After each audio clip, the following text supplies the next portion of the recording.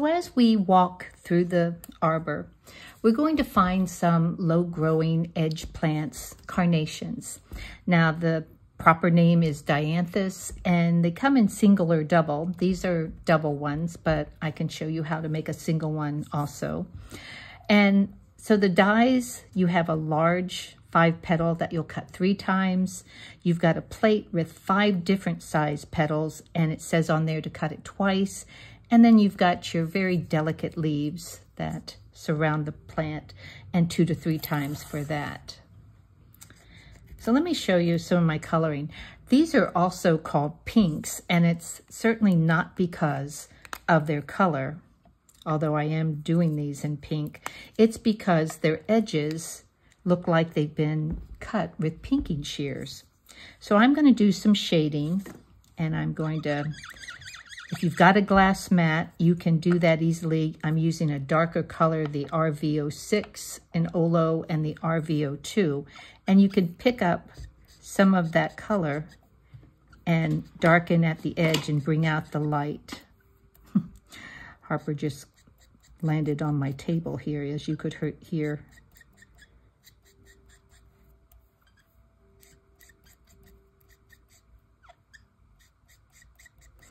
Like it a little bit darker towards the center, and then as it comes out,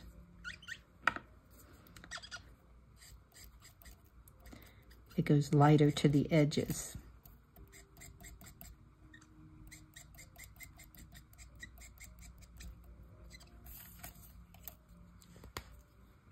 And I'm going to color, I'll just do the underside in lighter pink.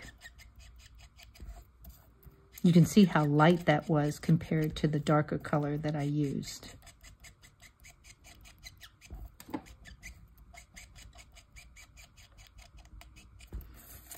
Okay. Coloring's done. Now for shaping. Clean up the table here. I'm going to use either my loop tool or my um, medium ball stylus. And for the base, I'm actually going to use the ball stylus. And I've got it right side down. And the reasoning for this is because the carnation has almost like a, you know, a trumpet-like calyx to it that the, the flowers are very tight and then spread out. And although we can't show that with paper, I mean, if you were stemming these, you could do it. But it's kind of difficult with when it's going flat on a, on a, you know, a card or a project. So these I'm just going to pinch going into the center and going around.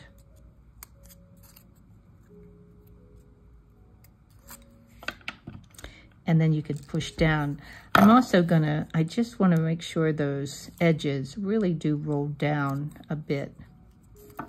They did a little bit with the ball stylus, but if you find didn't hit all the edges like I did, you can go back and roll a little bit.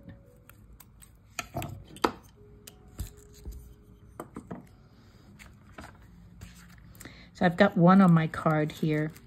I'm actually going to really, you know, I want to give this some shape while I'm doing the other one. So I'm going to press this down into my molding tray here.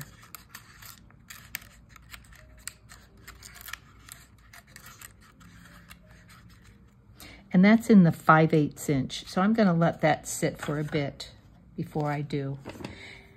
The next one I did face up, so the wrong side is on your mat. And I just went through and used my loop tool and kind of, you can see I even used the side of it to give it some striations that you see in the petals.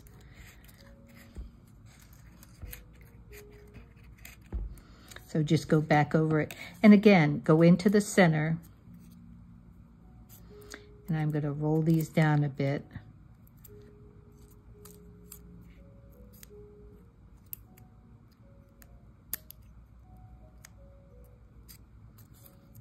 This is the third one of the large.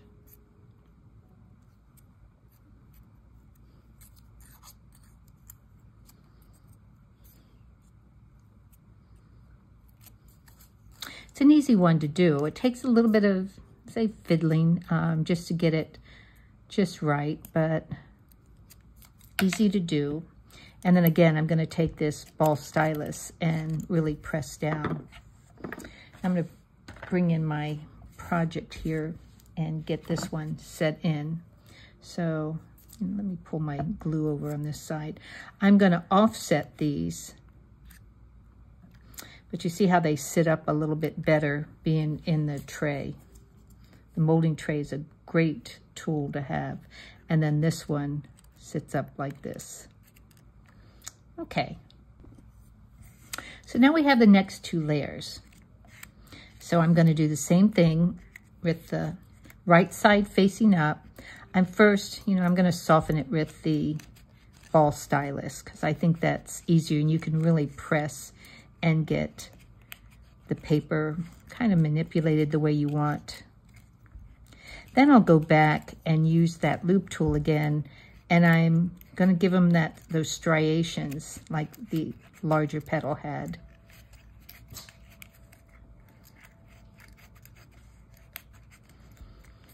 And I did this one already, but I'll just go over it again. So this is the second largest. Here's the third largest. soften this up first.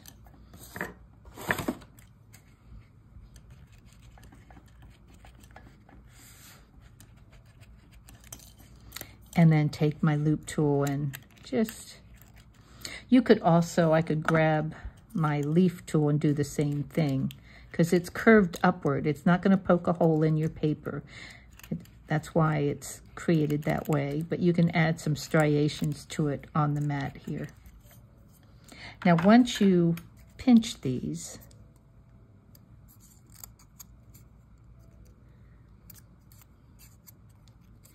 and we'll go through and do all of these. So this is the second and the third rows and there's two of each. You cut the plate twice.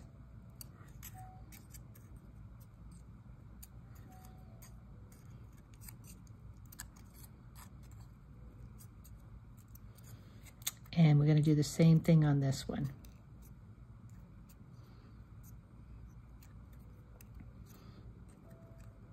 I'm pitching the whole flower together.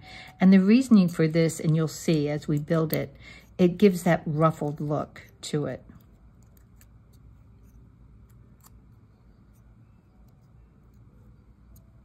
And then I'm going to use the small ball stylus to cup these because I want them, you know, somewhat really popped up. And you can do the same on the second largest size.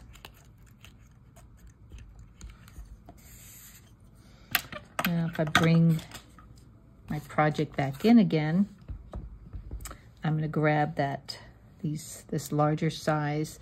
And again, I'm looking to offset.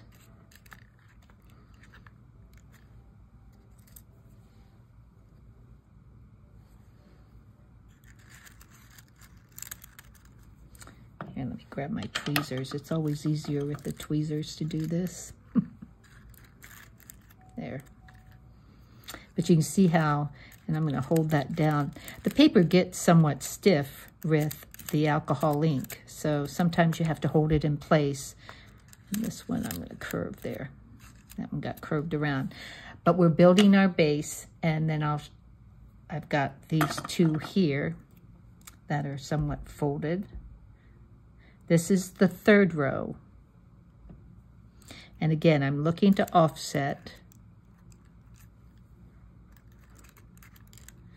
getting it into the center there. Hold it down, and then you've got your second one to go in, and I'll add some glue to the center there.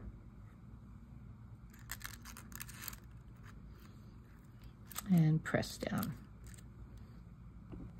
Now these last three sizes, I actually call them tuckers because they're not really, yes, they're going to layer, but not on top of each other. And I gave them a little spritz because they're on the, well, this one should have been facing down. If you have them facing um, wrong side up, and then these just get pinched. Well, I'm good, you know, let's, forgot, on this larger one, you are going to soften a bit and then you're going to pinch it. But you notice we've gone down to three petals and then go ahead and pinch these. I'll just set them there because I'm going to cup them in a second. And then you've got, this is the fifth or fourth size. Well, it's the fifth because there's really six layers. And I'm just pinching these. I'm not doing anything with the ball stylus. They just get pinched closed and you'll see why in a second. And then you've got this little tiny one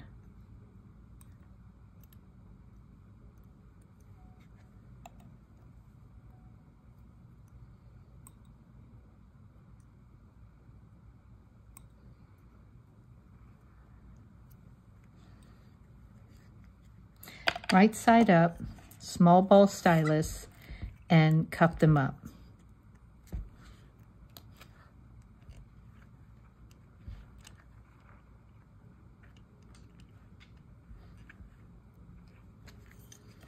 You might again, while I'm wiping my board here, go ahead and put these two larger sizes into the tray. This is the quarter inch size.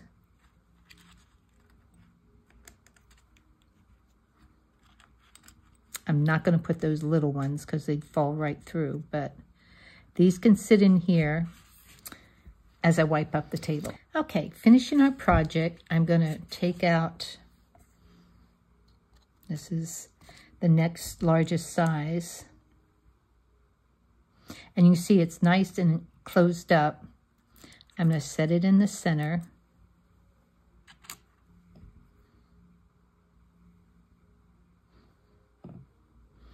And instead of putting it right on top of it, I'm actually going to put it, like tuck it in. So I want this roughly look towards the center. And then I've got these little guys.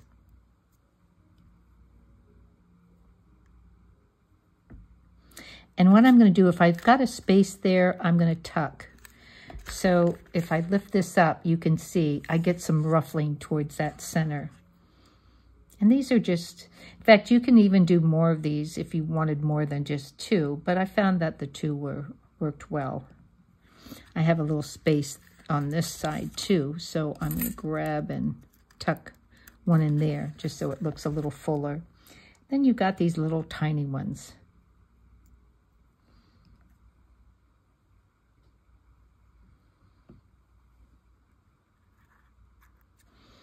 And I'm just putting them in the center there where I have some openings. Again, making it very ruffled. Let's turn this one a little bit. There.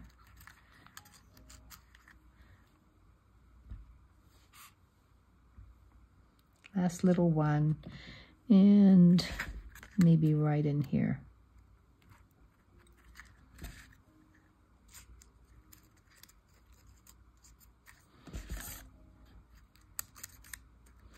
I'm lift that one up a little bit there.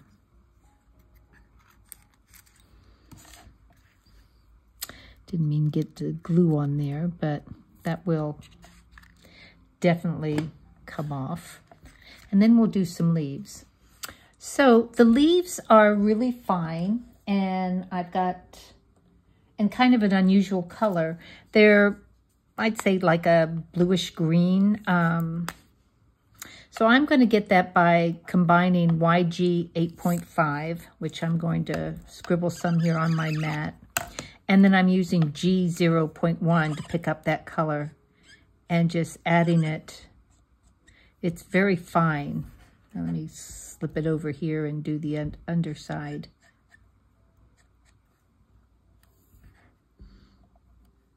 Here we'll do another one just, just to show you. So picking up color now, if you have this color, fine, but, you know, with the Olos, I find that a lot of times I'm blending, which is easy to do.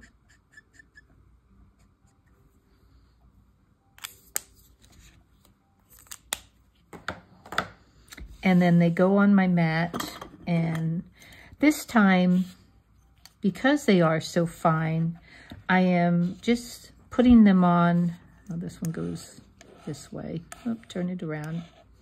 And I'm just doing them right side up and putting a stem line down it because there's no way I'm going to be able to bend this back and highlight that stem line. So I'm going to take a fine line pen and just kind of roughly color, you know, just that center a little bit to add some shading.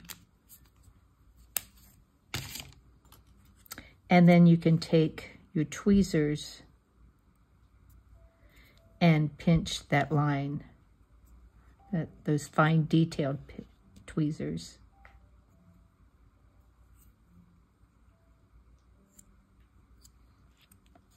Okay. So I've already added some. I'm just going to put a couple more on here. Dip it in my glue and I can slide them in maybe on this side here.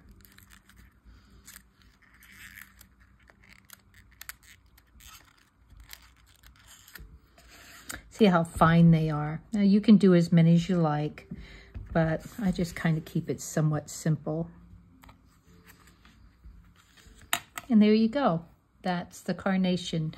Add the little ladybug up there and I've added some berries and you're all set.